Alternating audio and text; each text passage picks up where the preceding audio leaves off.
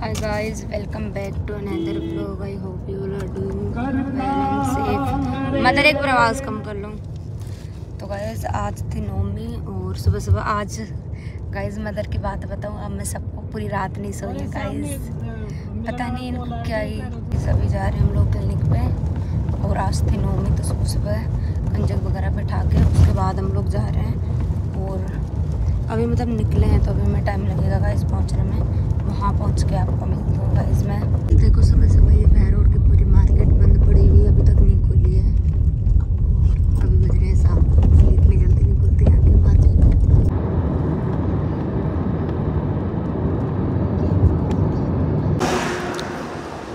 देखो इधर एक बार।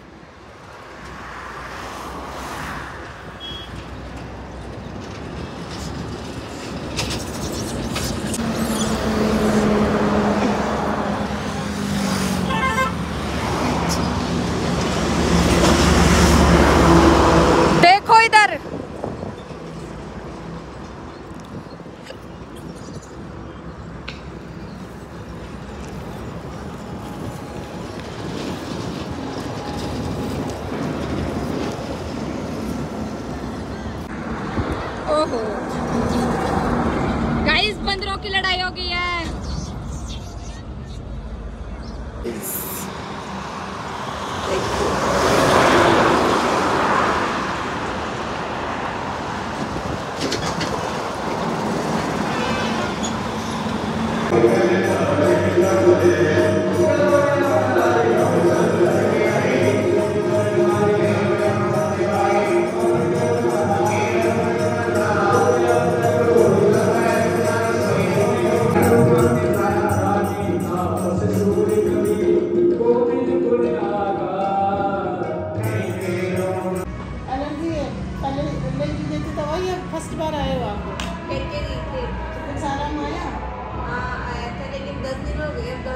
बैग लग गया। तो मैम आपने पंद्रह दिन की थी। पंद्रह दिन गई तो पंद्रह दिन पर आई ना मैं आज आप नहीं आए ये कहो मैं तो पंद्रह दिन पाऊँगा आती है पंद्रह दिन हाँ। पंद्रह और तीस है आप तीस को आई हो तो मैं पंद्रह को आऊँगी। आप पेशेंट नहीं आए वो उसका काम है। Weather condition is not good देखो आंधी चल रही है इधर की। आंधी देखना गाइस ऐसे धूल उड़ती है ना। इधर तो बारिश आने वाला मौसम हो गया, आंधी चल रही है। और गाइज़ मैं आपको देखो मेरे फेस की हालत। मैं डॉक्टर के दिखा के आऊँगी। यार, अब जाना ही पड़ेगा फाइनली डॉक्टर के दिखाने। तो देखते हुए एक दो दिन में नीम्स में दिखा के आऊँगी गाइज़ ये देखो, हमारे इधर की वेदर कंडीशन बहुत ज़्यादा ही ख़राब हो गया है गाइस देखो, सामने वाले गेहूँ का हाल देखो। कुछ ज़्यादा ही बेकार हो गया। और क्लाउड्स देखो गाइस कितने सुंदर दिख रहे हैं यार। तो देखो गाइस मम्मी के गार्डन में फ्लावर्स आ रखे हैं। देखो, मैं आपको एक बार दिखा देती हूँ, मम्मी का गार्डन बहुत सुंदर गार्डन बनाया हुआ है गाइस मम्मी ने। देख लो गाइस सुंदर गाइस देखो बारिश। ये नीचे आ रहा है फादर उसके ऊपर नहीं जा रहा। नीचे आ रहा है, नीचे। तो गाइज़ आज इधर पूरा दिन हो गया है इतनी भयंकर बारिश हो रही है ना, बहुत ज़्यादा बारिश हो रही है यहाँ पे। और गाइज़ सामने उन गेहूँ का हाल देखो आप। मतलब वो बिल्कुल सो गए हैं, ऐसे धरती पर लेट गए हैं। बारिश सुबह दो दिन हो गए, कल शाम से बारिश हो रही है, रुकने का नाम नहीं ले रही है बारिश। देखो गाइज़ और हमारे इधर पानी पानी, ये इधर सामने पूरा तालाब भर चुका है, ये घास की वजह से इतना दिख नहीं रहा है गाइज़ ये बहुत ज़्यादा पानी हो गया है। और ठंड इतनी बढ़ गई है कि अभी तक पंखे की भी कोई ज़रूरत ही नहीं है। इससे तो बहुत दूर की बात है। ये देखो हमारे सामने वाला मकान। अरे ये हमारी मम्मी का बोर्ड वैद शर्मिला का बोर्ड गाइस देखो उधर भी वैद शर्मिला का बोर्ड है। इधर भी बोर्ड लगा हुआ है। अरे ये हमारे फादर बैठे हुए हैं। फादर क्या हुआ? क्या हुआ? गाइस ये देखो अंकल आज अंकल हाय तो कर दो अपने ऑडियंस को। गाइस बहुत टाइम बाद आज अंकल मिलने आए हैं। तो मम्मी के दोनों बच्चों पहले मम्मी का ज्ञान सुनना। अब बताओ मम्मी। अरे झूठे कर इसे या। अरे बताओ बताओ। तो के बताऊँ मैं सही कर बहुत निश्चित है।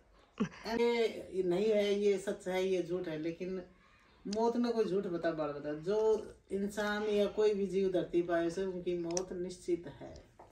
ये Guys. ये सच्चाई है। एमे कोई झूठ नहीं है। तो दोनों बहन भाई ज्ञान सुन लेना। को इनका लुक अच्छे लग रही है वैसे आप घाघरा लुगड़ी में ज़्यादा। सूट में ज़्यादा अच्छे नहीं लगते घाघरा लुगड़ी में अच्छे लग रहे।